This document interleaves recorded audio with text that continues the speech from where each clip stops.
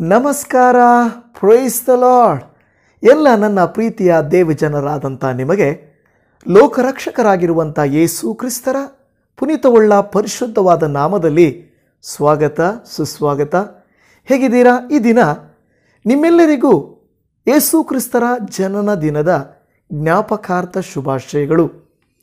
Simple ಆಗಿ ಹೇಳಬೇಕಾದ್ರೆ ನಿಮ್ಮೆಲ್ಲರಿಗೂ ಹ್ಯಾಪಿ ಕ್ರಿಸ್ಮಸ್ ದೇವಜನವೇ ಕ್ರಿಸ್ಮಸ್ ಎಂಬುದು ಕೇಕ್ ಅಲ್ಲ ಕ್ರಿಸ್ಮಸ್ ಎಂಬುದು ಕ್ರಿಸ್ಮಸ್ ಟ್ರೀ ಅಲ್ಲ ಕ್ರಿಸ್ಮಸ್ ಎಂಬುದು ಸಾಂತಾ ಕ್ಲಾಸ್ನಲ್ಲ.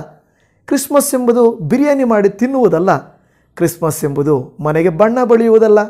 ಕ್ರಿಸ್ಮಸ್ ಎಂಬುದಾಗಿ ಹೇಳುವಾಗ ಕೂಟಗಳನ್ನು ಏರ್ಪಡಿಸುವುದಲ್ಲ. ಇದೆಲ್ಲವೂ ಮಾಡಬಾರ್ದ ಪಾಸ್ಟ್ರೆ ಅಂತ ಹೇಳಿದ್ರೆ ಇವೆಲ್ಲವುಗಳಿಗಿಂತಲೂ ಇವೆಲ್ಲವುಗಳನ್ನು ನೀವು ಮಾಡ್ತೀರಾ? ಕ್ರಿಸ್ಮಸ್ ಎಂಬುದು ಒಂದು ಸಡಗರ, ಸಂತಸದ ಶುಭ ಸುದ್ದಿ. ಏನು?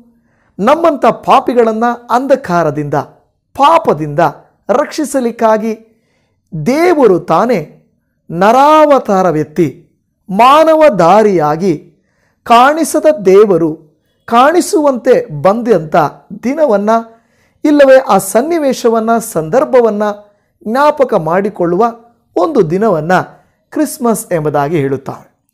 ನನ್ನ ಪ್ರೀತಿಯ ದೇವಜನವೇ, ಈ ದಿನ ನಿಮಗೆ ಕ್ರಿಸ್ಮಸ್ನ ಒಂದು ಹೊಸ ರೀತಿಯಾದಂಥ ಸಂದೇಶವನ್ನು ನಿಮಗೆ ನಾನು ತಿಳಿಸುತ್ತೇನೆ.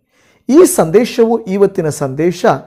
ಎಂದಿಗೂ ನಿಮ್ಮ ಮನಸ್ಸಿನಲ್ಲಿ ಕ್ರಿಸ್ಮಸ್ ಎಂದರೆ ಏನು ಎಂಬುದಾಗಿ ಜ್ಞಾಪಕ ಇರಬೇಕಾಗ್ತದೆ. ಹಾಗಾದರೆ ಬನ್ನಿ ಇವತ್ತಿನ ದೇವರ ವಾಕ್ಯ ಸಂದೇಶವನ್ನು ನಾವು ಧ್ಯಾನ ಮಾಡಿಕೊಳ್ಳೋಣ. ಮುಖ್ಯವಾಗಿ ಈ ದಿನ ನಾನು ತೆಗೆದುಕೊಂಡಿರುವಂಥ ದೇವರ ವಾಕ್ಯವು ಮೊದಲ ಯೋಹಾನನ ಪತ್ರಿಕೆ ನಾಲ್ಕನೆಯ ಅಧ್ಯಾಯ ಹದಿನಾಲ್ಕನೆಯ ವಚನ. ತಂದೆಯು ತನ್ನ ಮಗನನ್ನು ಲೋಕ ರಕ್ಷಕನನ್ನಾಗಿ ಕಳುಹಿಸಿ ಕೊಟ್ಟಿರುವುದನ್ನು ನಾವು ನೋಡಿದ್ದೇವೆ, ಅದರ ವಿಷಯದಲ್ಲಿ ಸಾಕ್ಷಿ ಹೇಳುತ್ತೇವೆ.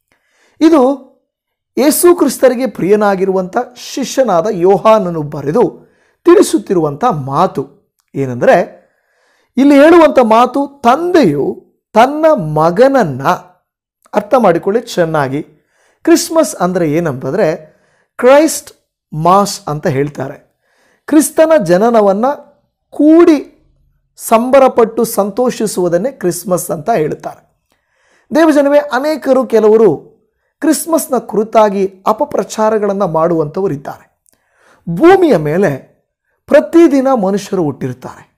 ನೀವು ಯಾವುದೇ ದಿನವನ್ನು ಕ್ರಿಸ್ಮಸ್ ಎಂದು ಆಚರಿಸಿದರೆ ನೀವು ಅದು ಅವರ ಬರ್ತ್ಡೇ, ಅವರ ದಿನ ಅಂತ ಹೇಳುವಂಥ ಜನರು ಇದ್ದೇ ಇರ್ತಾರೆ. ಆದರೆ ಅನೇಕ ದೇವ ಜನರು ಅನೇಕ ಸಭೆಗಳು ಒಟ್ಟಿಗೆ ಸೇರಿ ಒಂದು ದಿನವನ್ನು ಕ್ರಿಸ್ತನ ಜನನದ ಇಲ್ಲ ಕ್ರಿಸ್ತನು ಬಂದ ದಿನವನ್ನು ಜ್ಞಾಪಕ ಮಾಡಿಕೊಳ್ಳುವಂಥ ದಿನವನ್ನೇ ಕ್ರಿಸ್ಮಸ್ ಎಂಬುದಾಗಿ ಕ್ರಿಸ್ತನ ಜನನ ಎಂಬುದಾಗಿ ಹೇಳ್ತಾರೆ ಅನೇಕರು ನಾವು ಹೇಳುವಂಥ ಒಂದೇ ಒಂದು ವಿಷಯ, ಜನನ ಹುಟ್ಟಿ ಬಂದನು ಅಂತ ಹೇಳ್ತಾರೆ.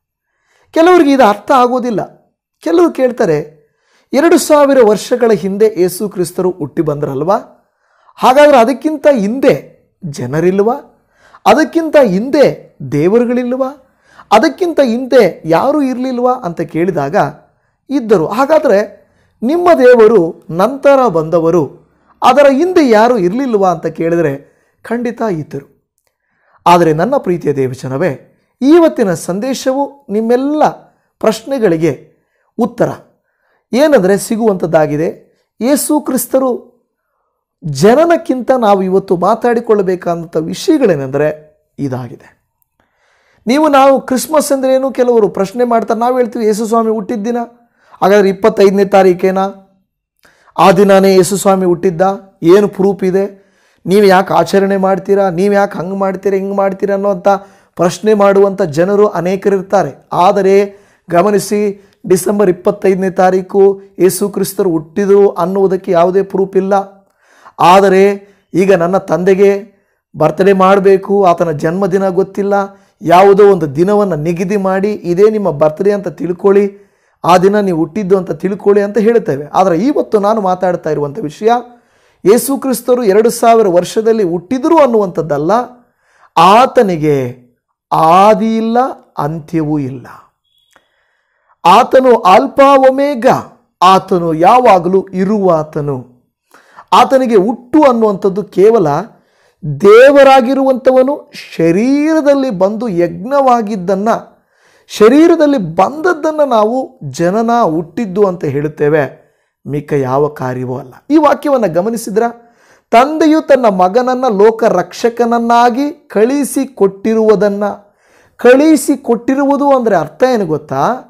ಆತನು ಹುಟ್ಟಿ ಮನುಷ್ಯನಾಗಿ ದೇವರಾದವನಲ್ಲ, ದೇವರಾಗಿದ್ದವನು ಅಲ್ಲಿಂದ ಕಳುಹಿಸಲ್ಪಟ್ಟನು. ಕಳುಹಿಸಲ್ಪಟ್ಟನು ಅನ್ನುವಂಥ ಪದಕ್ಕೆ ಅರ್ಥ ಏನು ಗೊತ್ತಾ? ಆಲ್ರೆಡಿ ಅಲ್ಲಿದ್ದನು. ಅಲ್ಲಿ ಇದ್ದವನನ್ನು ಕಳುಹಿಸಿಕೊಟ್ಟನು. ನೋಡಿ, ಪದ ನೋಡ್ರಿ. ಈ ಹ್ಯಾಸ್ ಬೀನ್ ಸೆಂಟ್ ಆತನು ಕಳುಹಿಸಲ್ಪಟ್ಟನು. ಯಾರಿಂದ? ತಂದೆಯಾದ ದೇವರಿಂದ. ಯಾಕೆ? ಲೋಕವನ್ನು ರಕ್ಷಿಸುವುದಕ್ಕಾಗಿ, ಲೋಕ ರಕ್ಷಕನನ್ನಾಗಿ, ತಂದೆಯಾದ ದೇವರು ಮಾನವದಾರಿಯಾಗಿ ಭೂಮಿಗೆ ಕಳುಹಿಸಿ ಕೊಟ್ಟಿರುವುದನ್ನು ಶಿಷ್ಯರು ಹೇಳ್ತಾ ಇದ್ದಾರೆ. ನಾವು ನೋಡಿದ್ದೀವಿ. ನಾವು ನೋಡಿದ್ದೀವಿ ಆತನನ್ನು. ಆತರ ವಿಷಯದಲ್ಲಿ ಸಾಕ್ಷಿ ಹೇಳುತ್ತೇವೆ. ಇವತ್ತು ನಾವು ನೋಡಿಲ್ಲ. ಆದರೆ ಅನೇಕ ಪ್ರವಾದಿಗಳು ಹಿಂದೆಯೇ ಯೇಸು ಕ್ರಿಸ್ತರು ಬರುತ್ತಾರೆಂದು ಪ್ರವಾದಿಸಿದ್ದಾರೆ. ಈಗಾಗಲೇ ನಿನ್ನೆ ಲೈವ್ ದಿನದಲ್ಲಿ ನಾನು ನಿಮಗೆ ಏಷಾಯ, ಮೀಕ, ಜಕರಿಯ ಈ ಎಲ್ಲ ಪ್ರವಾದಿಗಳು ಯೇಸು ಕ್ರಿಸ್ತರ ಜನನ ಕುರಿತಾಗಿ ಪ್ರವಾದಿಸಿದ್ದನ್ನು ನಿಮಗೆ ತಿಳಿಸಿದ್ದೇನೆ. ಒಂದು ವೇಳೆ ಆ ವಿಡಿಯೋ ನೋಡಿಲ್ಲ ಅಂದರೆ ನಿನ್ನೆ ರಾತ್ರಿಯ ಲೈವ್ ವಿಡಿಯೋನ ನೀವು ನೋಡ್ಕೊಂಡು ಬನ್ನಿರಿ ನಿಮಗೆ ಗೊತ್ತಾಗುತ್ತದೆ. ನನ್ನ ಪ್ರೀತಿಯ ದೇವಜನರೇ, ಆ ಪ್ರವಾದಿಗಳು ಐನೂರು, ಆರುನೂರು ವರ್ಷಗಳ ಹಿಂದೆ ಈ ರೀತಿಯಾಗಿ ರಕ್ಷಕನೊಬ್ಬನು ದೇವರು ಒಬ್ಬನು ದೇವರು ರಕ್ಷಕನನ್ನು ಕಳುಹಿಸುತ್ತಾರೆ. ಆ ದೇವರೇ ನಮಗೆ ರಕ್ಷಕನನ್ನಾಗಿ, ಮಾನವದಾರಿಯಾಗಿ ಬರುತ್ತಾರೆ ಎಂದು ಪ್ರವಾದಿಸಿದ್ದರು ಅರ್ಥ ಆಗ್ತಾ ಇದೆಯಾ? ನೀವು, ನಾನು ಕ್ರೈಸ್ತರಾಗಿರುವಂಥವರು ಒಂದು ವಿಷಯ ಚೆನ್ನಾಗಿ ಜ್ಞಾಪಕ ಇಟ್ಕೊಳ್ಳಿ. ಕ್ರಿಸ್ತನ ಜನನ ಅಂದರೆ ಯೇಸು ಸ್ವಾಮಿ ನಮ್ಮ ಹಾಗೆ ನಾರ್ಮಲ್ ಆಗಿ ಮನುಷ್ಯನು ಹುಟ್ಟುಬಿಟ್ಟು ಮತ ಸ್ಥಾಪನೆ ಮಾಡಿದನು. ಆತನ ಧರ್ಮವನ್ನು ಸ್ಥಾಪನೆ ಮಾಡಿದನು. ಮನುಷ್ಯನಾಗಿ ಹುಟ್ಟಿ ದೇವರಾದನು ಎಂದು ನೀವು ಯಾವತ್ತೂ ನಿಮ್ಮ ಮೈಂಡಲ್ಲಿ ಇಟ್ಟುಕೊಳ್ಳಬಾರದು. ಅದು ತಪ್ಪು.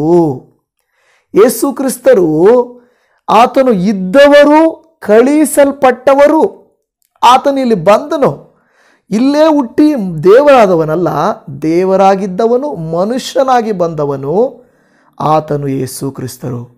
ಅನೇಕರು ಅಂದುಕೊಳ್ಳೋದೇನೆಂದರೆ ಯೇಸು ಕ್ರಿಸ್ತರು ಹುಟ್ಟಿದ್ದಾರೆ ಎರಡು ಸಾವಿರ ವರ್ಷ ಹಿಂದೆ. ಅದಕ್ಕಿಂತ ನಮ್ಮ ಧರ್ಮ ಇತ್ತು, ನಮ್ಮ ದೇವರಿದ್ದರು, ನಮ್ಮವರಿದ್ದರು.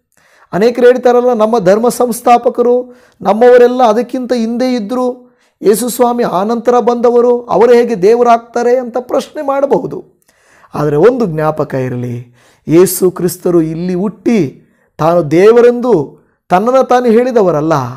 ಇನ್ನು ಮುಂದಿನ ವಾಕ್ಯಗಳಲ್ಲಿ ನಿಮಗೆ ತಿಳಿಯುತ್ತದೆ ಆತನು ಮೊದಲೇ ಇದ್ದವನು. ಈ ವಾಕ್ಯದ ಪ್ರಕಾರವಾಗಿ ಆತನು ಕಳುಹಿಸಿ ಕೊಟ್ಟಿರುವಾತನು ಕಳುಹಿಸಿ ಕೊಟ್ಟಿರುವಾತನು ಆತನಾಗಿದ್ದಾನೆ. ತಂದೆಯಿಂದ ಲೋಕವನ್ನು ರಕ್ಷಿಸುವುದಕ್ಕಾಗಿ ಮಾನವಧಾರಿಯಾಗಿ ಜನಿಸಿ ಬಂದನು. ಆದರೆ ಇಪ್ಪತ್ತೈದನೇ ತಾರೀಕೆ ಅಲ್ಲ. ಆದರೆ ಒಂದು ಎಲ್ಲ, ಒಂದು ವೇಳೆ ಪ್ರಪಂಚದಲ್ಲಿ ಎಲ್ಲ ಕಡೆ ಕ್ರಿಸ್ಮಸ್ ಮಾಡಬೇಕು ಅಂತ ಹೇಳಿದರೆ ಎಲ್ಲರೂ ವರ್ಷ ಪೂರ್ತಿ ಮಾಡಬೇಕಾಗ್ತದೆ. ಆದರೆ ಒಂದು ಸನ್ನಿವೇಶ ಅನ್ನುವಂಥದ್ದು ಒಂದು ಸಂದರ್ಭ ಅನ್ನುವಂಥದ್ದು, ಒಂದನ್ನು ಲೋಕರಕ್ಷಕನು ಅಂಧಕಾರದಲ್ಲಿರುವಂಥ ಪಾ, ಪಾಪಿಗಳನ್ನು ರಕ್ಷಿಸುವುದಕ್ಕಾಗಿ ದೇವರು ಮಾನವದಾರಿಯಾಗಿ ಬಂದನು ಅಂತ ಹೇಳಿದಾಗ, ಪ್ರೇರೇ ಅಲ್ಲಿರುವಂಥ ಪಂಡಿತರು ಸಂತೋಷಪಟ್ಟರು ಕುರುಬರು ಸಂತೋಷಪಟ್ಟರು ದೇವದೂತರುಗಳು ಸಂತೋಷಪಟ್ಟರು ಅಲ್ಲಿ ಆ ಬೆತ ಬೆತ್ಲೆಹೇಮಲ್ಲಿ ಆ ಸಂದ, ಸನ್ನಿವೇಶವೇ ಸನ್, ಸಡಗರ ಸಂಭ್ರಮದಿಂದಿತ್ತು. ಯೇಸು ಕ್ರಿಸ್ತರು ಜನಿಸಿದ್ದಕ್ಕಾಗಿ ದೇವದೂತರುಗಳು ಸಂತೋಷಪಟ್ಟರು ಪಂಡಿತರು ಸಂತೋಷಪಟ್ಟರು ಬಂದಂಥ ಕುರುಬರು ಸಂತೋಷಪಟ್ಟರು ಇವತ್ತು ಕ್ರಿಸ್ತನ ಜನನವನ್ನು ನೀವು ಸಂತೋಷ ಪಡಬೇಡ್ರಿ ಸುಳ್ಳು ಅದು ಹಾಗೆ ಹೀಗೆ ಅಂತ ಹೇಳುವುದು ಯಾಕೆ? ಅದು ಅಸಮಂಜಸ. ಆ ರೀತಿಯಾಗಿ ಕ್ರೈಸ್ತರನ್ನು ಬೇರ್ಪಡಿಸುವ ಕೆಲಸವನ್ನು ಮಾಡುವಂಥದ್ದು ಒಳ್ಳೆಯದಲ್ಲ. ನಾವು, ನಾನು ಕೂಡ ಆಚರಣೆಗೆ, ಆಡಂಬರಕ್ಕೆ ಅದೊಂದು ಪದ್ಧತಿಗೆ ನಾನು ವಿರೋಧಿಸ್ತೇನೆ ಆದರೆ ಅರ್ಥಪೂರ್ಣವಾದಂಥ ಕ್ರಿಸ್ಮಸ್ಸನ್ನು ಆಚರಿಸುವುದಕ್ಕೆ ನಾನು ಕೂಡ ನಿಮ್ಮನ್ನು ಉತ್ತೇಜಿಸುತ್ತೇನೆ. ನನಗೆ ಯಾವತ್ತೂ ಕೂಡ ಕ್ರಿಸ್ಮಸ್ ಪದ್ಧತಿಯಾಗಲಿ, ಆಡಂಬರವಾಗಲಿ, ಆಚರಣೆಯಾಗಲಿ ಇಲ್ಲವೇ ಇಲ್ಲ. ಕ್ರಿಸ್ಮಸ್ ದಿನದಂದು ನಾವು ಒಳ್ಳೆಯ ಕೂಟವನ್ನು ಮಾಡ್ತೇವೆ. ಊಟ ಅಲ್ಲ, ಕೂಟ. ಊಟ, ಕೂಟ ಅಲ್ಲ, ಅರ್ಥಪಾರ್ಥ ಮಾಡ್ಕೊಳ್ಬೇಡ್ರಿ. ಒಳ್ಳೆಯ ಊಟಕ್ಕಿಂತಲೂ ನಾವು ಕೂಟ ಮಾಡ್ತೇವೆ. ನಿಮಗೆ ಗೊತ್ತು, ನಾನು ಹಳ್ಳಿಗಳಲ್ಲಿ ಬಡವರ ಮನೆಗಳಲ್ಲಿ ಸಂಧಿಸುವುದಕ್ಕೆ ನನಗೆ ಸಂತೋಷವಾಗ್ತದೆ.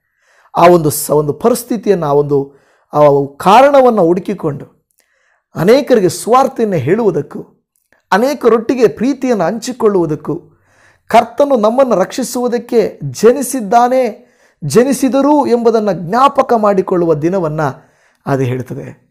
ಕ್ರಿಸ್ಮಸ್ ಅಂದರೆ ಕಳುಹಿಸಲ್ಪಟ್ಟದ್ದು ಮೊದಲನೇ ವಿಷಯ. ಕಳುಹಿಸಲ್ಪಟ್ಟದ್ದು ನಾವು ನೋಡುತ್ತೇವೆ ಅನಂತರ ಮತ್ತಾಯನು ಬರೆದ ಸುವಾರ್ತೆ ಇಪ್ಪತ್ತನೇ ಅಧ್ಯಾಯ ಇಪ್ಪತ್ತೆಂಟನೇ ವಚನದಲ್ಲಿ, ಮನುಷ್ಯ ಕುಮಾರನು ಸೇವೆ ಮಾಡುವುದಕ್ಕೆ ಮಾಡಿ, ಮಾಡಿಸಿಕೊಳ್ಳುವುದಕ್ಕೆ ಬರಲಿಲ್ಲ. ಸೇವೆ ಮಾಡುವುದಕ್ಕೂ ಅನೇಕರನ್ನು ಬಿಡಿಸಿಕೊಳ್ಳುವುದಕ್ಕಾಗಿ ತನ್ನ ಪ್ರಾಣವನ್ನು ಹೀಡಿಕೊಡುವುದಕ್ಕೂ ಬಂದನು ಎಂದು ಹೇಳಿದನು. ಅರ್ಥ ಮಾಡಿಕೊಳ್ಳಿ, ಕ್ರಿಸ್ಮಸ್ ಕೇವಲ ನಾವು ಜನನಕ್ಕೆ ಪ್ರಾಮುಖ್ಯತೆ ಕೊಡುವುದಿಲ್ಲ, ಆತನ ಮರಣಕ್ಕೆ ಪ್ರಾಮುಖ್ಯತೆ ಕೊಟ್ಟು ಜನನಕ್ಕೆ ಪ್ರಾಮುಖ್ಯತೆ ಕೊಡ್ತೀವಿ ಹೊರತು ಜನನದಿಂದ ಮರಣವನ್ನು ನಾವು ನೋಡಲ್ಲ. ಮರಣದಿಂದ ಆತನ ಕಲ್ವಾರಿ ಶಿಲ್ಬೆಯ ಮರಣದಿಂದ ಆತನ ಜನನದ ಕಡೆಗೆ ನೋಡುತ್ತೇವೆ. ಯೇಸು ಕ್ರಿಸ್ತರು ಹೇಳ್ತಾ ಇದ್ದಾರೆ, ಅನೇಕರನ್ನು ಬಿಡಿಸಿಕೊಳ್ಳುವುದಕ್ಕಾಗಿ, ತನ್ನ ಪ್ರಾಣವನ್ನು ಈಡುಕೊಡುವುದಕ್ಕಾಗಿ ನಾನು ಬಂದೆನು ಅಂತ ಹೇಳ್ತಾ ಇದ್ದಾನೆ. ಅರ್ಥ ಮಾಡಿಕೊಳ್ಳಿ. ಕಳಿಸಲ್ಪಟ್ಟೆನು ಈಗ ಹೇಳ್ತಾ ಇದ್ದಾರೆ, ಬಂದೆನು ಅಂತ ದೇವರ ವಾಕ್ಯ ಹೇಳ್ತಾ ಇದೆ. ಅರ್ಥ ಮಾಡಿಕೊಳ್ಳಿ, ಪದಗಳನ್ನು ಜ್ಞಾಪಕ ಇಟ್ಕೊಳ್ಳಿ. ಜನಿಸಿದನು, ಹುಟ್ಟಿದನು ಅನ್ನುವ ಪದಗಳಿಗಿಂತ ಉತ್ತಮವಾಗಿ ನಾವು ಅರ್ಥ ಮಾಡಿಕೊಳ್ಳಬೇಕಾಗಿರುವುದು ಆತನು ಕಳುಹಿಸಲ್ಪಟ್ಟನು. ಆತನು ತಾನಾಗಿ ನಮ್ಮನ್ನು ಬಿಡಿಸಿಕೊಳ್ಳುವುದಕ್ಕಾಗಿ ಬಂದನು. ಈ ಬಂದನು ಕಳುಹಿಸಲ್ಪಟ್ಟನು ಅನ್ನುವಂಥ ಪದ ಈಗಾಗಲೇ ಅವರು ಅಲ್ಲಿದ್ದರೆ ತಾನೇ ಬರಲಿಕ್ಕೆ ಸಾಧ್ಯ. ಅಲ್ಲಿರುವ ಆತನು ಆತನು ಬಂದು ನಮಗೆ ಕಾಣಿಸಿಕೊಂಡನು. ಅದನ್ನು ನಾವು ಹೇಳುವಂಥ ವಾಕ್ಯ. ಯೋಹಾನನು ಬರೆದ ಸುವಾರ್ತೆ ಒಂದನೇ ಅಧ್ಯಾಯ ಹದಿನಾಲ್ಕನೇ ವಚನದಲ್ಲಿ, ಆ ವಾಕ್ಯವೆಂಬವನು ನರಾವತಾರ ಎತ್ತಿ ನಮ್ಮ ಮಧ್ಯದಲ್ಲಿ ವಾಸ ಮಾಡಿದನು. ನಾವು ಆತನ ಮಹಿಮೆಯನ್ನು ನೋಡಿದೆವು. ಆ ಮಹಿಮೆಯು ತಂದೆಯ ಬಳಿಯಿಂದ ಬಂದ ಒಬ್ಬನೇ ಮಗನಿಗೆ ಇರತಕ್ಕ ಮಹಿಮೆ. ಆತನ ಮಹಿಮೆಯಿಂದಲೂ ಸತ್ಯದಿಂದಲೂ ತುಂಬಿದವನಾಗಿದ್ದನು. ಅಲ್ಲಿ ಹೇಳುತ್ತದೆ, ವಾಕ್ಯವೆಂಬಾತನು ನರಾವತಾರವೆತ್ತಿ ನಮ್ಮ ಮಧ್ಯದಲ್ಲಿ ವಾಸ ಮಾಡಿದನು. ಅಲ್ಲಿಂದ ಇಲ್ಲಿಗೆ ಬಂದು ವಾಸ ಮಾಡಿದನು. ನನ್ನ ಪ್ರಿಯ ದೇವಿ ಜನವೇ, ಇನ್ನು ಅರ್ಥ ಮಾಡ್ಕೊಳ್ಳಿ, ಮೂದು ಪದ ನೋಡಿದ್ವಿ ನಾವು ಒಂದು ಕಳುಹಿಸಲ್ಪಟ್ಟನು. ಎರಡನೇದಾಗಿ ನಾನು ಬಂದೆನು, ಮೂರನೇದಾಗಿ ನರಾವತಾರ ಎತ್ತಿ ವಾಸ ಮಾಡಿದನು ಎಂಬುದನ್ನು ಇವತ್ತು ತಿಳ್ಕೊಳ್ಳ್ರಿ ದೇವರ ವಾಕ್ಯವು ಸ್ಪಷ್ಟ, ನಾವು ಅರ್ಥ ಮಾಡಿಕೊಳ್ಳೋದು ಅಪಾರ್ಥ ಮಾಡಿಕೊಳ್ಳಬಹುದು, ಆದರೆ ದೇವರ ವಾಕ್ಯವು ಸ್ಪಷ್ಟ. ಆತನು ಇಲ್ಲಿ ಹುಟ್ಟಿ ನಾನೇ ದೇವರೆಂದು ನಾನು ಧರ್ಮ ಸಂಸ್ಥಾಪನೆ ಮಾಡಬೇಕೆಂದು ಹೇಳಿದವನಲ್ಲ. ಯೇಸು ಕ್ರಿಸ್ತರು ಯಾವತ್ತಾದರೂ ನನಗೋಸ್ಕರ ಒಂದು ಧರ್ಮ ಸ್ಥಾಪನೆ ಮಾಡಿರಿ, ನನ್ನನ್ನು ಹೀಗೆ ಮಾಡಿರಿ, ಹಾಗೆ ಮಾಡಿದ್ರಿ ಅಂತ ಹೇಳಿದ್ರ? ಇಲ್ಲ. ಆತನು ಇವತ್ತು ಕ್ರಿಸ್ಮಸ್ ದಿನದಲ್ಲಿ ನೀವು ನಿಮ್ಮ ಪ್ರೀತಿಯನ್ನು ನಿಮ್ಮ ಪ್ರೀತಿಯನ್ನು ಊಟದ ಮೂಲಕವಾಗಿ ಸ್ವಾರ್ಥೆ ಕೂಟದ ಮೂಲಕವಾಗಿ, ನಿಮ್ಮ ಮನೆಯನ್ನು, ನಿಮ್ಮ ಮನಗಳನ್ನು ಶುದ್ಧೀಕರಣಿಸಿಕೊಳ್ಳುವುದರ ಮೂಲಕವಾಗಿ ಸಂತೋಷ ಪಡುತ್ತೇವೆ ಲೋಕದಲ್ಲಿ ನೂರಾರು ಹಬ್ಬಗಳನ್ನು ಮಾಡುವಂಥವರು ಸಂತೋಷ ಪಡುವುದನ್ನು ನೋಡಿ ಸುಮ್ಮನೆ ಇರ್ತಾರೆ. ಒಂದು ಒಂದು ಸಂತೋಷ ಕೂಟ, ಹಬ್ಬ ಅಂತ ನಾನು ಹೇಳಲ್ಲ, ಒಂದು ಸಂತೋಷ ಕೂಟವನ್ನು, ಒಂದು ಸಂತೋಷದ ದಿನವನ್ನು ನೋಡಿ, ಒಂದು ಇಲ್ಲ ಎರಡು, ಕ್ರಿಸ್, ಕ್ರೈಸ್ತರು ಆಚರಿಸೋದು, ಇಲ್ಲಾಂದರೆ ಕ್ರೈಸ್ತರು ನೆನೆಸಿಕೊಳ್ಳುವಂಥದ್ದು, ಸಂಭ್ರಮ ಪಡುವಂಥದ್ದು, ಒಂದು ಇಲ್ಲ ಎರಡು, ಕ್ರಿಸ್ಮಸ್ ಇಲ್ಲ ಅಂದರೆ ಈಸ್ಟರ್ ಇಲ್ಲ ಅಂದರೆ ಗುಡ್ ಫ್ರೈಡೆ, ಇಷ್ಟು ಬಿಟ್ಟರೆ ಬೇರೇನಿಲ್ಲ. ಅದಕ್ಕೆ ಲೋಕದ ಜನರೆಲ್ಲ ಇವರ ಕಡೆಗೆ ನೋಡ್ತಾರೆ. ಕ್ರೈಸ್ತರೇ ಕ್ರಿಸ್ತನನ್ನು ಅರಿತವರೇ ಯಾರು ಕೂಡ ಕುಡಿಯುವುದಕ್ಕೂ, ತಿನ್ನುವುದಕ್ಕೂ, ಆಡಂಬರಕ್ಕೂ, ಪದ್ಧತಿಗೂ ನಾವು ಯಾರೂ ಪ್ರಚೋದನೆ ಕೊಡುವುದಿಲ್ಲ, ಪ್ರೇರೇಪಿಸುವುದಿಲ್ಲ. ಆದರೆ ಲೋಕರಕ್ಷಕನು ಬಂದದ್ದನ್ನು ಕಳಿಸಲ್ಪಟ್ಟದ್ದನ್ನು ವಾಸ ಮಾಡಿದ್ದನ್ನು ನರಾವತಾರ ಎತ್ತಿದ್ದನ್ನು ನಾವು ತಿಳಿದು ಸಂತೋಷಿಸುವುದು ತಪ್ಪಾ? ತಪ್ಪ? ಆ ದಿನದಲ್ಲಿ ಊಟಕ್ಕಿಂತ ಕೂಟ ಮಾಡುವುದು ತಪ್ಪ? ದೇವರನ್ನು ಆರಾಧಿಸುವುದು. ದೇವರಿಗೆ, ಅಪ್ಪ, ನನಗಾಗಿ ನೀನು ಆ ಪರವನ್ನು ಬಿಟ್ಟು ಭೂಮಿಗೆ ಮಾನವದಾರಿಯಾಗಿ ಬಂದ ದಿನವನ್ನು, ಬಂದ ಗಳಿಗೆಯನ್ನು, ಬಂದ ಆ ಸಂದರ್ಭವನ್ನು, ಇಲ್ಲವೇ ಆ ಬಂದ ಕಾಲವನ್ನು ನಾನು ನೆನೆಸ್ತೇನಪ್ಪ ಅಂತ ಹೇಳುವುದು ತಪ್ಪ? ದೇವರ ವಾಕ್ಯದಲ್ಲಿ ಈ ರೀತಿಯಾಗಿ ಹೇಳುತ್ತದೆ. ಯೋಹಾನು ಬರೆದ ಸುವಾರ್ತೆ ಮೂರನೇ ಅಧ್ಯಾಯ ಹದಿನಾರನೇ ವಚನದಲ್ಲಿ, ದೇವರು ಲೋಕದ ಮೇಲೆ ಎಷ್ಟೋ ಪ್ರೀತಿಯನ್ನಿಟ್ಟು, ತನ್ನ ಒಬ್ಬನೇ ಮಗನನ್ನು ಕೊಟ್ಟನು? ಆತನನ್ನು ನಂಬುವ ಒಬ್ಬನಾದರೂ ನಾಶವಾಗದೆ ಎಲ್ಲರೂ ನಿತ್ಯ ಜೀವವನ್ನು ಪಡೆಯಬೇಕೆಂದು ಆತನನ್ನು ಕೊಟ್ಟನು. ಇನ್ನೊಂದು ಪದ, ಕೊಟ್ಟನು, ಕಳುಹಿಸಿದನು, ಬಂದನು, ನರಾವತಾರ ಎತ್ತಿ ಬಂದು ವಾಸ ಮಾಡಿದನು, ಕೊಟ್ಟನು. ಕೊಟ್ಟನು ಪಾಸ್ಟ್ ರಮೇಶ್ ನಮಗೇನಾದರೂ ಒಂದು ಏನಾದರೂ ಕೊಟ್ಟರು ಅಂದರೆ ನನ್ನ ಹತ್ರ ಇದ್ರೆ ತಾನೇ ಕೊಡಲಿಕ್ಕೆ? ನನ್ನ ಹತ್ರ ನಾನು ಕೊಟ್ಟಿದ್ದೇನೆ. ತಂದೆಯಾದ ದೇವರು ಲೋಕದ ಮೇಲೆ ಎಷ್ಟು ಪ್ರೀತಿಯನ್ನಿಟ್ಟು ತನ್ನ ಒಬ್ಬನೇ ಮಗನನ್ನು ಕೊಟ್ಟನು. ಪ್ರೇರೆ ನಾವೇನ ಯಾವಾಗಲೂ ಕ್ರಿಸ್ಮಸ್ ಅಂದರೆ ಯೇಸುಸ್ವಾಮಿ ಹುಟ್ಟಿದನು ಹುಟ್ಟಿದನು ಹುಟ್ಟಿದನು, ಜನಿಸಿದನು ಜನಿಸಿದನು ಅಂತ ಹೇಳ್ತೀವಿ. ಈ ಪದಗಳನ್ನು ನಿಮ್ಮ ಡೈರಿಯಲ್ಲಿ ಬರ್ಕೊಳ್ರಿ, ನಿಮ್ಮ ಮನಗಳಲ್ಲಿ ಬರ್ಕೊಳ್ರಿ, ಕೇಳಿದವರಿಗೆ ಉತ್ತರ ಹೇಳ್ರಿ. ಯೇಸು ಸ್ವಾಮಿ, ಇಲ್ಲಿ ಹುಟ್ಟಿ ಮತಸ್ಥಾಪನೆ ಮಾಡಲಿಕ್ಕೆ ಬಂದಿಲ್ಲ, ಇಲ್ಲಿ ಹುಟ್ಟಿ ತನ್ನ ಹಬ್ಬವನ್ನು ಆಚರಿಸ್ಕೊಳ್ಳಿಕ್ಕೆ ಬರಲಿಲ್ಲ ಬದಲಾಗಿ ನಾನು ವಾಕ್ಯದಲ್ಲಿ ಹೇಳಿದ ಹಾಗೆ ಅವರನ್ನು ಬಿಡಿಸಿಕೊಳ್ಳುವುದಕ್ಕಾಗಿ, ತನ್ನ ಪ್ರಾಣವನ್ನು ಈಡುಕೊಡುವುದಕ್ಕಾಗಿ ಆತನು ಜನಿಸಿದ್ದನ್ನು ನೆನೆಸಿಕೊಳ್ಳುತ್ತೇವೆ. ಅದೇ ಕ್ರಿಸ್ಮಸ್ ಎಂದು ಹೇಳಿರಿ. ಒಂದು ಸಾರಿ ನಿಮ್ಗೆ ವಿಡಿಯೋ ಅರ್ಥ ಆಗಿಲ್ಲ ಅಂದರೆ ಇನ್ನೊಂದು ಸಾರಿ ನೋಡ್ರಿ. ಮತ್ತಾಯನು ಬರೆದ ಸುವಾರ್ತೆ ಒಂದನೇ ಅಧ್ಯಾಯ ಇಪ್ಪತ್ತ ಮೂರನೇ ವಚನದಲ್ಲಿ ಈಗೋ ಒಬ್ಬ ಕನ್ನಿಕೆಯು ಗರ್ಭಿಣಿಯಾಗಿ ಮಗನನ್ನು ಹಡಿಯುವಳು, ಆತನಿಗೆ ಹಿಮ್ಮಾನುವೇಲ್ ಎಂದು ಹೆಸರಿಡುವರು ಎಂಬುದು ದೇವರು ನಮ್ಮ ಕೂಡ ಇದ್ದಾನೆಂದು ಹೆಸರಿನ ಅರ್ಥ. ಮಗನನ್ನು ಹಡಿಯುವಳು ಹೌದು, ಲೋಕ ರಕ್ಷಕನಾದ ದೇವರಿಗೆ ಜನ್ಮವನ್ನು ಕೊಟ್ಟಳು. ಇದು ಸುಳ್ಳಲ್ಲ, ಇದು ಕಟ್ಟುಕತೆಯಲ್ಲ ಅನೇಕ ಕಟ್ಟುಕತೆಗಳಿಗೆ ಬಹಳ ಪ್ರಾಮುಖ್ಯತೆ ಇದೆ, ಸುಳ್ಳುಗಳಿಗೆ ಪ್ರಾಮುಖ್ಯತೆ ಇದೆ. ಸತ್ಯಕ್ಕೆ ಪ್ರಾಮುಖ್ಯತೆ ಇಲ್ವಾ? ಯೇಸು ಕ್ರಿಸ್ತರು ಹುಟ್ಟಿದ್ದು ನಿಜ ತಾನೇ? ಇಲ್ಲ ಯೇಸು ಕ್ರಿಸ್ತರು ಹುಟ್ಟೇ ಇಲ್ಲ ಅನ್ನುವಂಥದ್ದನ್ನು ನೀವು ಡಿಸ್ಪ್ರೂವ್ ಮಾಡಲಿಕ್ಕಾಗುತ್ತಾ ನನ್ನ ಪ್ರಿಯ ದೇವಜನರೇ, ಪ್ರವಾದಿಗಳಾದ ಏಷಾಯನು ಜಕ್ಕರಿಯನು ಮಲಾಕಿ ಇವರೆಲ್ಲ ಹೇಳಿದ ಕಾರ್ಯವು ನಡೆಯಿತು ಎಂದು ಒಂದು ಆಧಾರಗಳೊಟ್ಟಿಗೆ, ಅರಸರುಗಳೊಟ್ಟಿಗೆ, ಸ್ಥಳಗಳೊಟ್ಟಿಗೆ ಎಲ್ಲವೂ ಇರುವಂಥದ್ದನ್ನು ನಾವು ನೋಡುತ್ತೇವೆ. ಕಾನೇಶುಮಾರಿ ಬರೆಸಿಕೊಳ್ಳುವಂಥದ್ದು ಒಂದು, ಅದು ಇತಿಹಾಸ, ಐತಿಹಾಸಿಕವಾಗಿ ಪ್ರೂವ್ ಆಗಿದೆ. ಆ ಸಂದರ್ಭವನ್ನು ಹೇಳಿ ಬರೆದಿರುವಂಥ ಬೈಬಲ್. ಸುಳ್ಳಲ್ಲ, ಬೈಬಲ್ ಸತ್ಯ. ಅನೇಕ ಘಟನೆಗಳನ್ನು ನೋಡಿ ಬೈಬಲನ್ನು ನಿರೂಪಿಸುವುದಲ್ಲ, ಬೈಬಲನ್ನು ನೋಡಿ ಬೇರೆ ಅನೇಕ ಘಟನೆಗಳನ್ನು ನಿರೂಪಿಸಬೇಕಾಗಿದೆ. ಅಂತಹದ್ದು ಬೈಬಲ್, ಅದು ಸತ್ಯ, ಅದು ಪರಿಶುದ್ಧ ಗ್ರಂಥ, ನಿಖರವಾದ ಗ್ರಂಥ. ಅದರಲ್ಲಿ ಯೇಸು ಕ್ರಿಸ್ತರ ಜನನದ ಕುರಿತಾಗಿ ಇದೆ. ಆದರೆ ಇವತ್ತು ನಾನು ಜನನ ಅಂತ ಹೇಳುವುದಕ್ಕಿಂತ ಯೇಸು ಕ್ರಿಸ್ತನು ಕಳುಹಿಸಲ್ಪಟ್ಟನು. ಯೇಸು ಕ್ರಿಸ್ತನು ತಾನಾಗಿ ಬಂದನು. ನರಾವತಾರ ಎತ್ತಿ ವಾಸ ಮಾಡಿದನು. ತಂದೆಯಾದ ದೇವರು ಆತನನ್ನು ಕೊಟ್ಟನು. ಆತನನ್ನು ಅವರನ್ನು ಬಿಡಿಸಿಕೊಳ್ಳುವುದಕ್ಕಾಗಿ ಬಂದನು. ಇಲ್ಲಿ ನೋಡಿದ್ರೆ ಆತನು ಬಂದನು. ಹೇಗೆ ಬಂದನು?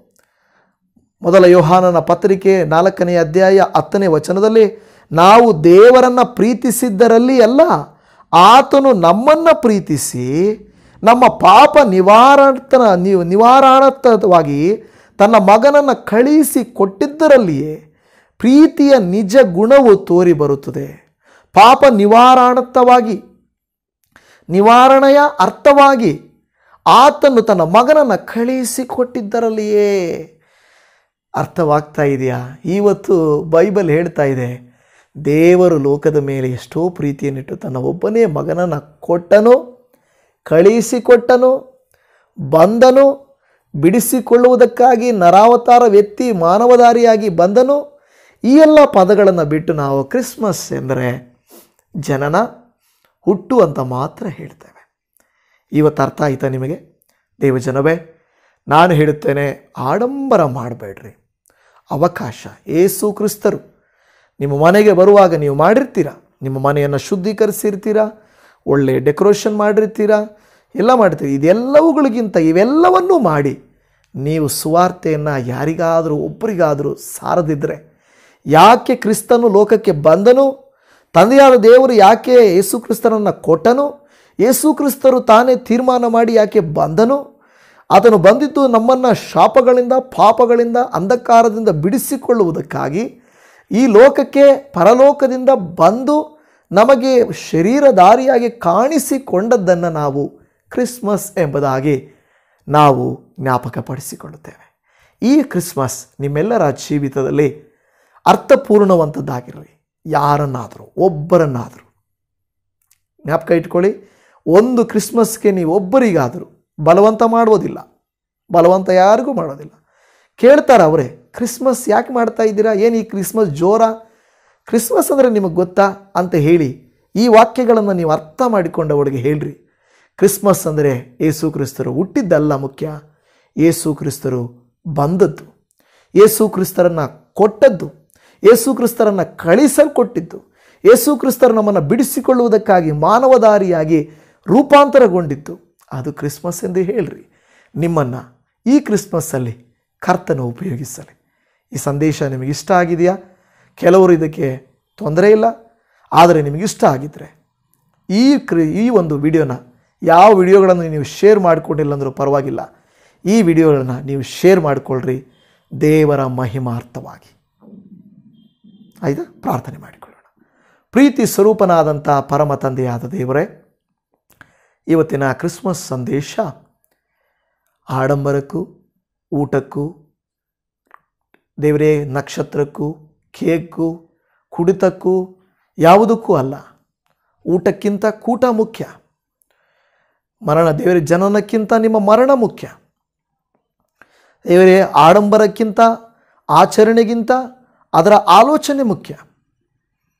ನೀನು ಜನಿಸಿದ್ದಿ, ಹುಟ್ಟಿದ್ದಿ ಅನ್ನುವುದಕ್ಕಿಂತ, ನೀನು ವಾಕ್ಯದಲ್ಲಿ ಇಷ್ಟು ವಾಕ್ಯಗಳಲ್ಲಿ ಕೊಟ್ಟನು, ಕಳುಹಿಸಿಕೊಡಲ್ಪಟ್ಟನು, ಬಂದನು, ನರವತಾರ ಎತ್ತಿದನು, ನಮ್ಮನ್ನು ಬಿಡಿಸಿಕೊಳ್ಳುವುದಕ್ಕಾಗಿ ಬಂದನು ಎಂಬುದನ್ನು ಈ ವಾಕ್ಯಗಳಲ್ಲಿ ನೋಡಿದ್ದೇವೆ. ಏಸಪ್ಪ, ಈ ವಾಕ್ಯಗಳು ನಮ್ಮ ಜೀವಿತದಲ್ಲಿ ಎಂದಿಗೂ ಮರೆಯದಿರುವಂಥ ವಾಕ್ಯಗಳಾಗಿರಲಿ. ಪ್ರತಿ ಕ್ರಿಸ್ಮಸ್ಗೂ, ಪ್ರತಿ ಸಂದರ್ಭಕ್ಕೂ ಈ ವಾಕ್ಯಗಳು ನಮ್ಮ ಜೀವಿತಕ್ಕೆ ಮೂಲವಾಗಿರಲಿ. ನೀವು ತಾನೇ ಯಾರೆಲ್ಲ ಈ ವಿಡಿಯೋನ ದೇವರಿಗೆ ಇಷ್ಟಪಟ್ಟು ಪ್ರೀತಿಯಿಂದ ದೇವರೇ ವಿಡಿಯೋನ ನೋಡಲಿಕ್ಕೆ ದೇವರೇ ತೀರ್ಮಾನ ಮಾಡಿದ್ದಾರೋ, ನೀನು ತಾನೇ ಇವರನ್ನು ಕರುಣಿಸು ದೇವ. ಇವರಿಗೆ ಈ ವಿಡಿಯೋ ಇಷ್ಟವಾಗಿದ್ದರೆ ಅನೇಕರಿಗೆ ಶೇರ್ ಮಾಡಿಕೊಳ್ಳುವಾಗ. ಇಂಥ ವಿಡಿಯೋನ ನಾವು ನೋಡಿದ್ದಕ್ಕೆ ನಿಜವಾಗಿ ದೇವರಿಗೆ ಸ್ತೋತ್ರ. ನಮಗಾಗಿ ಪರಮ, ಪರಲೋಕವನ್ನು ತ್ಯಜಿಸಿ, ಪಾಪಲೋಕಕ್ಕೆ, ಭೂಲೋಕಕ್ಕೆ ಬಂದು ನಮ್ಮನ್ನು ಬಿಡಿಸಿಕೊಳ್ಳುವುದಕ್ಕೆ, ನಮ್ಮನ್ನು ರಕ್ಷಿಸುವುದಕ್ಕೆ ಲೋಕರಕ್ಷಕನಾಗಿ. ನಮ್ಮನ್ನು ಬಿಡಿಸಿಕೊಳ್ಳುವುದಕ್ಕೆ ಪ್ರೀತಿಯಿಂದ, ನಮಗೋಸ್ಕರ ತ್ಯಾಗಪೂರ್ವಕವಾಗಿ ಬಂದದ್ದಕ್ಕಾಗಿ, ನರಾವತಾರ ಎತ್ತಿದ್ದಕ್ಕಾಗಿ ಕಳಿಸಿಕೊಡಲ್ಪಟ್ಟಿದ್ದಕ್ಕಾಗಿ ಕರ್ತರೇ, ನಿನಗೆ ಸ್ತೋತ್ರಪ್ಪ. ನಿನಗೆ ವಂದನೆ. ಈ ಕ್ರಿಸ್ಮಸ್ ದಿನದಲ್ಲಿ ನಿಜವಾದ ಕ್ರಿಸ್ಮಸ್ ಅರ್ಥವನ್ನು ನಮಗೆ ತಿಳಿಯಪಡಿಸಿದ್ದಕ್ಕಾಗಿ ನಿನಗೆ ವಂದನೆ. ಇನ್ನು ಮುಂದೆ ನಮ್ಮ ಜೀವಿತದಲ್ಲಿ ಎಷ್ಟು ಕ್ರಿಸ್ಮಸ್ಗಳು ನಮಗೆ ಸಿಗುತ್ತವೋ, ಆ ಕ್ರಿಸ್ಮಸ್ಗಳಲ್ಲಿ ನಾವು ಅರ್ಥಪೂರ್ಣವಾಗಿ ಆಚರಿಸುವಂತೆಯೋ, ಅರ್ಥಪೂರ್ಣವಾಗಿ ಇದನ್ನು ಆಲೋಚನೆಗೆ ಒಳಪಡಿಸುವಂತೆಯೋ ಅನೇಕರಿಗೆ ದೇವರೇ ಅವರು ನಂಬದೇ ನಂಬದೇ ಹೋಗಲಿ. ಕರ್ತನೆ ಅನೇಕರು ಅಪಾರ್ಥ ಮಾಡಿಕೊಂಡಿರುವ ಈ ಕ್ರಿಸ್ಮಸ್ನ ಕುರಿತಾಗಿ ಅರ್ಥ ಮಾಡಿಕೊಳ್ಳುವಂತೆ ನಮ್ಮನ್ನು ಉಪಯೋಗಿಸಿರಿ ಎಂದು ಬೇಡಿಕೊಳ್ಳುತ್ತೇವೆ. ಖಂಡಿತವಾಗಿ ಪ್ರಾರ್ಥನೆಯನ್ನು ಕೇಳಿದ್ದೀರಾ? ನಿಮಗೆ ಸ್ತೋತ್ರ. ಎಲ್ಲ ಮಹಿಮೆ ನಮ್ಮ ರಕ್ಷಕನಾದಂಥ ಯೇಸು ಕ್ರಿಸ್ತರ ಪವಿತ್ರವಾದ, ಪರಿಶುದ್ಧವಾದ ನಾಮದಲ್ಲಿ ಪ್ರಾರ್ಥಿಸುತ್ತೇವೆ ಪರಮ ತಂದೆಯೇ. ಆಮೇನ್. ಆಮೇನ್. ಕ್ರಿಸ್ತನಲ್ಲಿ ನನ್ನ ಪ್ರೀತಿಯ ದೇವ ಜನರೇ ಮತ್ತೊಂದು ಸಾರಿ ಅರ್ಥಪೂರ್ಣವಾದಂಥ ಕ್ರಿಸ್ಮಸ್ನ ಶುಭಾಶಯಗಳು. ನಿಮಗೂ ನಿಮ್ಮ ಕುಟುಂಬಕ್ಕೂ ದೇವರ ಯಥೇಚ್ಛವಾದಂಥ ಕೃಪಾ ವರದಾನಗಳು ಲಭಿಸಲಿ. ಎರಡು ಸಾವಿರದ ಇಪ್ಪತ್ತು ಮೂರನೇ ವರ್ಷ ಬರ್ತಾ ಇದೆ. ನಿರೀಕ್ಷೆಯಿಂದ ಮುಂದಕ್ಕೆ ಸಾಗೋಣ. ಅದ್ಭುತಗಳನ್ನು ನಮ್ಮ ಜೀವಿತದಲ್ಲಿ ಅನುಭವಿಸೋಣ. ಎಲ್ಲ ಮಹಿಮೆ ದೇವರಿಗೆ. ಶಲೋಮ್. Price lord